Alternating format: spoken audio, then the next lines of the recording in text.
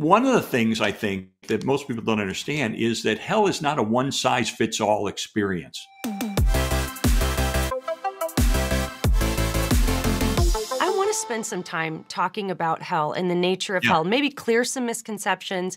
Maybe, um, maybe for some people, they haven't thought very deeply about hell, and it will be a little troubling because we're going to think about the nature of hell. But maybe let's start with this: What is hell? What what is it? Well, you know, the Bible uses imagery and metaphors and figurative language to try to communicate the horror of hell, which is separation from God for eternity.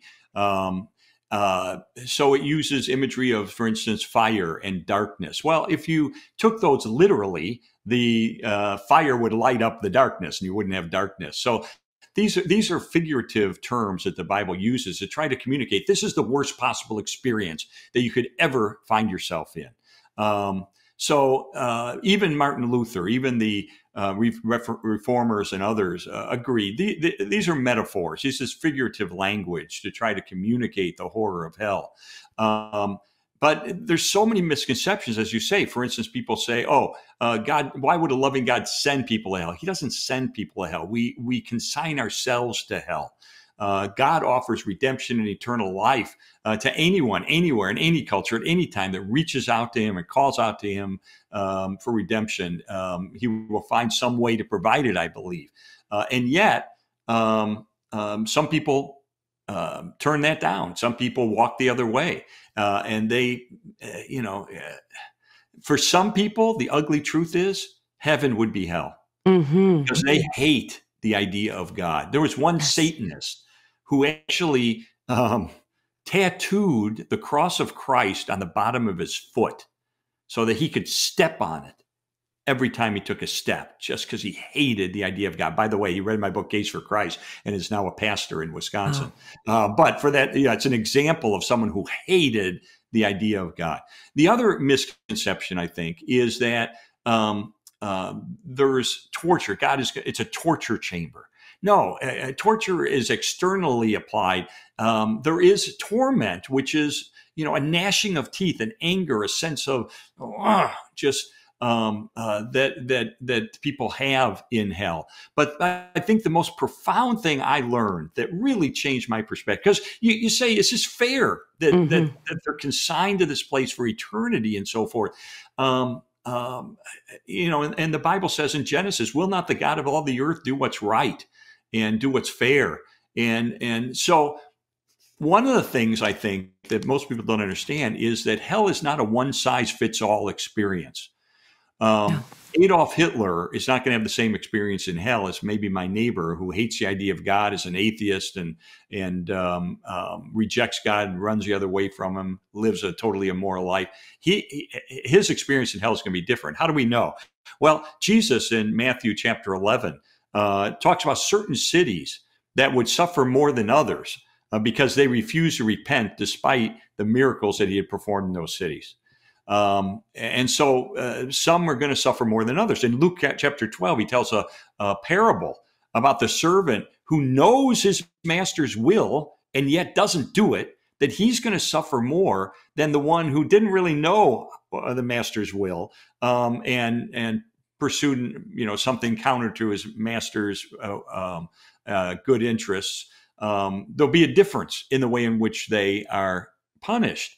And I think this is really important to, to, to see that um, whatever hell is, um, it's not going to be the same for Adolf Hitler and everybody else. Uh, there will be gradations of experience. I don't know what that looks like. I just know that this imagery of hell, uh, uh, of flames, of um, um, darkness, and so forth, uh, suggests a the worst possible outcome for a human being uh, to be separated from any influence of the love of God. You know, we live in a difficult world. We live in a world where there's a lot of evil and a lot of pain. And, you know, so how would you like to be in a place because we experience some of the, the you know, the, the, grace of God, the, the, the general grace of God in our world. Um, how would you like to be separated from any influence of God's love and grace forever? I mean, that's a it's a horrible prospect, and I think that's what the Bible is trying to communicate. It's like if you have a little kid, and the kid reaches up and he's going to touch a hot um, burner on a stove, you might say to him, "Don't don't touch it. That's hotter than the sun." Well, no, it's not. I'm using figurative language, but I'm trying to tell him you don't want to touch that. It is hmm. so hot; it's going to burn you. And and so the Bible uses these metaphors, these figurative language to suggest that um, this is the worst outcome that a human being can face.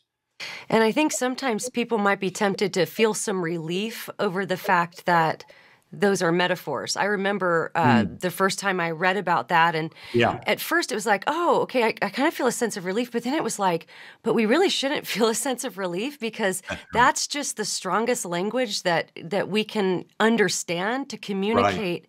How horrific it will be to be outside of, like, as you mentioned, any kind of goodness or love or yes. hope because we only know what those things are because like you said we all experience that common grace. We all yes.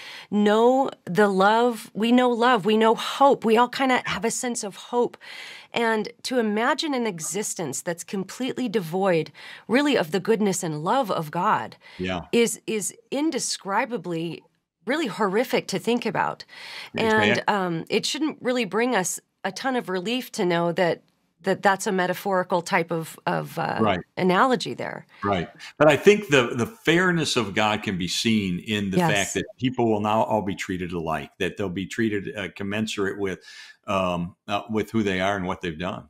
Yeah, and I think that solves one of the big misconceptions about hell when you talk about the degrees of punishment, because yeah. and that by, is backed up even uh, by the Old Testament systems where different sins had different punishments. They had different yeah. degrees of punishment. I mean, it's very consistent theme right. when we look at the justice of God as it's portrayed to us through the Bible.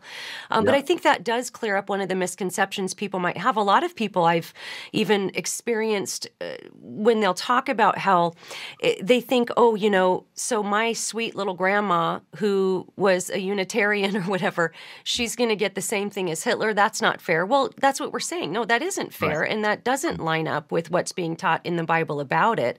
Yeah. And uh, I think digging a little deeper theologically into the doctrine of hell can help people maybe clear some of those obstacles.